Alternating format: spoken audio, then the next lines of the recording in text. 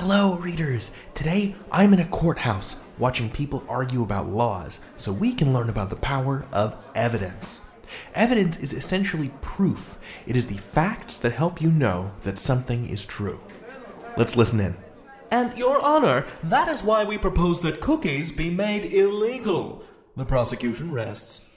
Hmm. Very interesting indeed. Objection, Your Honor. I may be a simple country lawyer, but even I can see that my opponent has neglected to offer up a single crumb of evidence in favor of banning all cookies only heated and offensive anti cookie slogans. Objection sustained. You will give evidence for your claims, or I will dismiss this case in favor of cookies. You have not yet proved that cookies pose a threat to public health. Show me where it says in our books of law that I even have the right to make this ruling. Both of you are going to need to give me evidence. Okay, so you can see that there are a couple of things happening here. There's a group of people who want to keep cookies, a group of people who want to ban cookies, and in the middle of it, a judge who has to decide which group of people is right. So, she asked them for evidence. If you believe cookies are bad, what's your proof? If you believe cookies are good in moderation, what's your proof? Let's step out of the courtroom for a second and go to this example in a text. I'm in big trouble. I forgot to do the social studies project last weekend.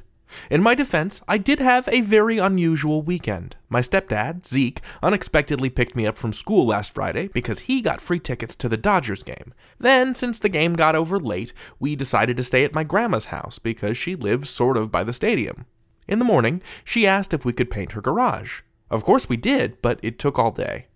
On Sunday, I'm sorry to report, I devoted my entire day to watching Voltron. Let's try answering some questions that require us to look back at the text for evidence. This is like the bedrock of any kind of writing. If you make a claim, you have to back it up with evidence. So, did the author remember to do their social studies project last weekend? No.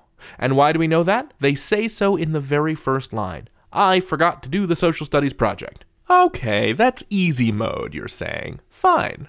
What did the author of this piece do on Saturday? You'll notice the word Saturday doesn't appear in the paragraphs above, and yet I could tell you with confidence and direct support from the text. How? Well, let's go back and look at the text. My stepdad Zeke unexpectedly picked me up from school last Friday, and we keep reading. Then, since the game got over late, we decided to stay at my grandma's house because she sort of lives by the stadium. So, the author and their stepdad spent the night, Friday night, at grandma's house.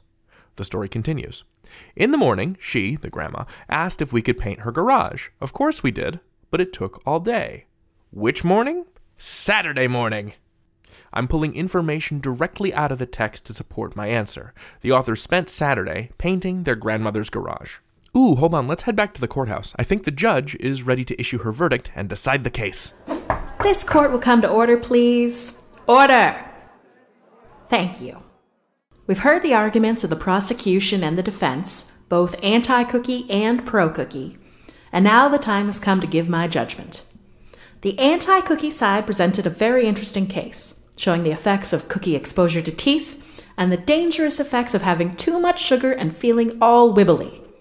But the pro cookie side also gave very compelling evidence, showing that in moderation, a cookie can be a very tasty snack indeed, provided that you treat them for what they are something to have every so often.